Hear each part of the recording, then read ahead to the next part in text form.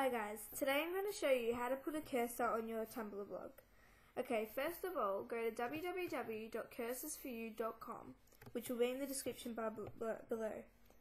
Okay, so once you get onto this page, scroll down and there's a whole list of categories which you can choose from. I'm just going to click on this rainbow here. So once you find the cursor that you're happy with, just click on it and it'll take you to here and it'll give you a preview of what your cursor would look like. And down here it will have all the codes for Universal, Tumblr, blog, um, a blogspot or Facebook. So click on Tumblr. There's three options.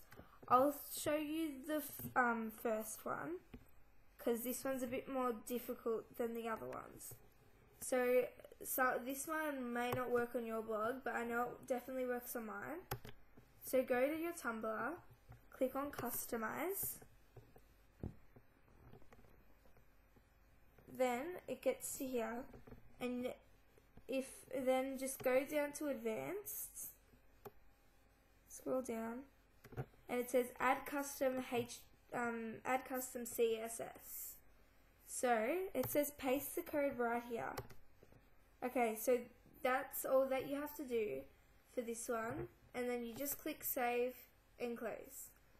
So thank you for watching. Um, subscribe for more Tumblr tutorials. Okay, bye.